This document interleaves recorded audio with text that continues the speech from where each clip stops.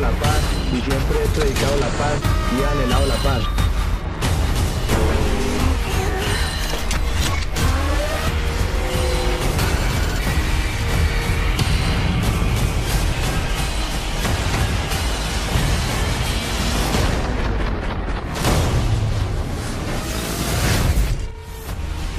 Asumiera su curul como representante suplente.